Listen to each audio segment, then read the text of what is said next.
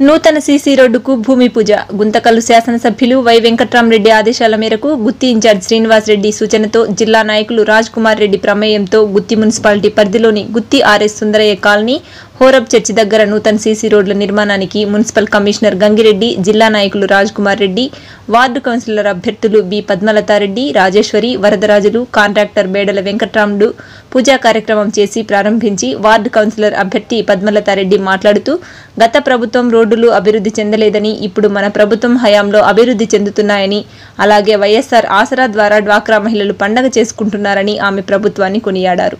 ఈ కార్యక్రమంలో బల్లారి పవన్ రెడ్డి వైసీపీ రాష్ట్ర మహిళా నాయకురాలు గజ్జెల నిర్మలారెడ్డి జయలక్ష్మి నాగరాజు రాజశేఖర్ రెడ్డి సునీల్ నాగరాజు మున్సిపల్ సిబ్బంది తదితరులు పాల్గొన్నారు. వైఎస్ఆర్ ఆసరా జరుగుతున్నాయండి.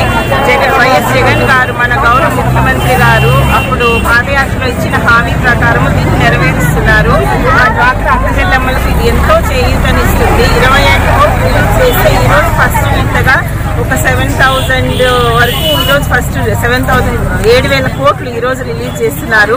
దీనివల్ల అత్త చెల్లెమ్మలందరూ చాలా హ్యాపీగా ఉన్నారు చాలా సంతోషపడతారు. ఇది వారికి ఎంతో ఉపయోగకరంగా ఉంటుంది.